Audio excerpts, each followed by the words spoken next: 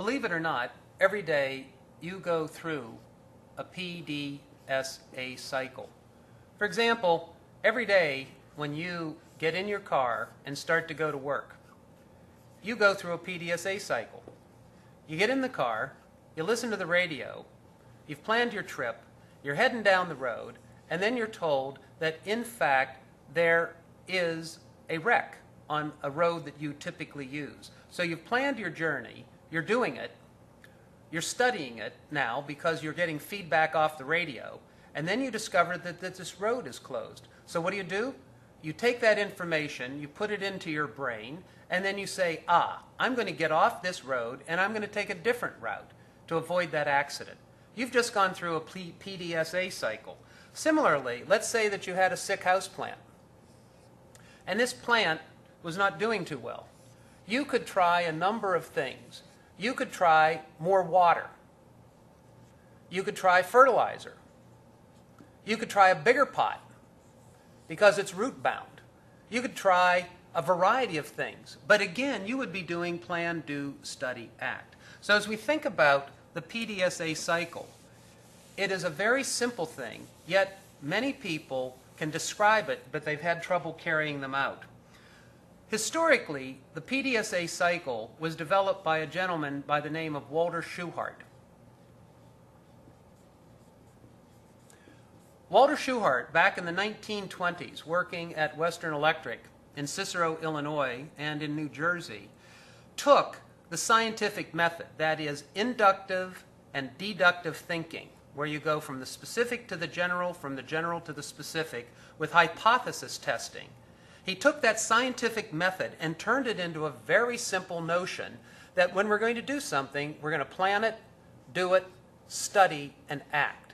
Now remember, Shewhart and his students, Deming and Juran, were working on the shop floor at Western Electric.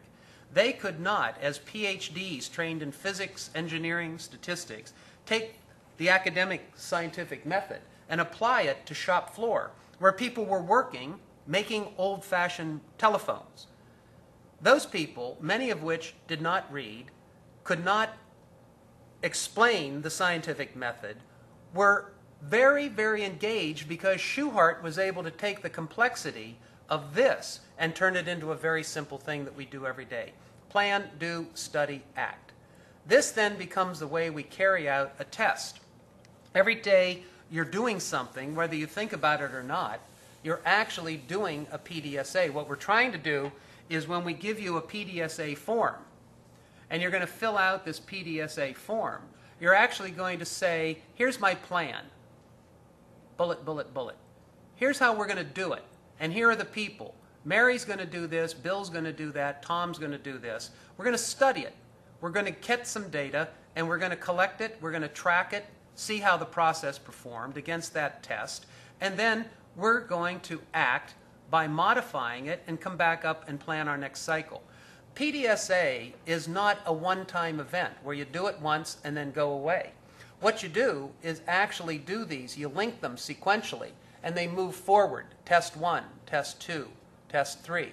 And so we're going to link the PDSAs starting out in small tests. You're going to start with one patient on one day, possibly.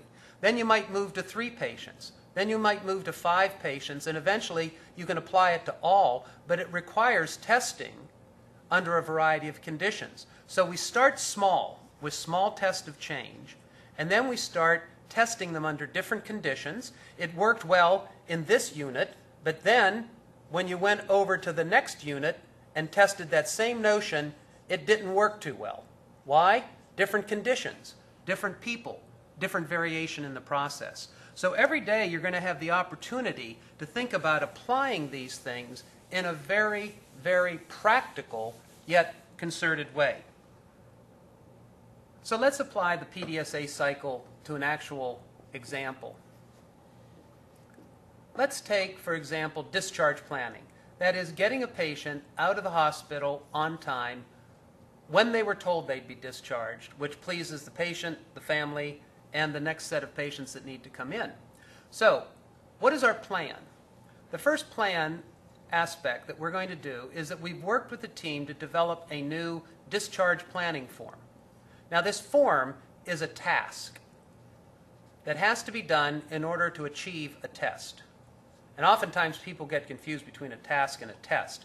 The test is going to be taking the form and applying it to a patient. So now this form has check boxes. It has pharmacy, it has discharge planning instructions, education, other things that are needed. Now we're going to do it. That is, on next Monday, we're going to get one of the discharge planning nurses, Tom, to take this form and apply it to three patients. We're not going to do it on all 50 patients. We're not going to do it on the whole hospital. We're going to start out with a small test. Three patients.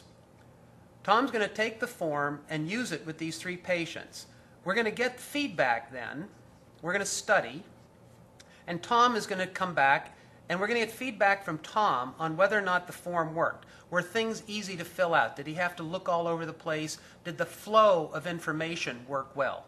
So Tom's going to give us feedback. Then we're also going to get feedback by keeping track of the percent of patients discharged by 11 o'clock.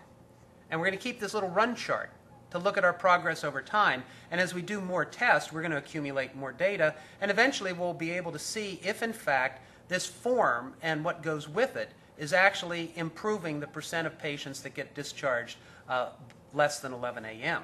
Then we're going to act. We're going to take the feedback from Tom and from our data, and then we're going to think about the next test with more patients, maybe on a different unit. Maybe now we're going to take it instead of just from 3 West, we're going to take it and apply it to all med surg floors.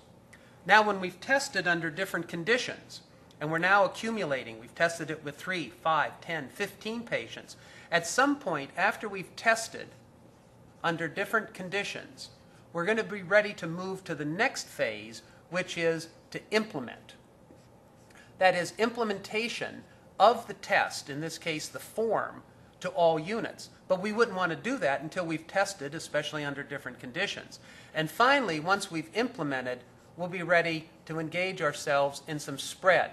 Let's say that we are part of a system and that system has three hospitals. So we've been testing it starting on one unit, Tom's unit. Then we're going to go to this hospital. Then we're going to move to the next two hospitals and spread that that has been tested and documented. But it all starts with our PDSA cycle and allows us to give a framework for testing one idea against a group of patients that eventually will be allowed to implement and to spread on a regular basis. It all starts with the testing of PDSA.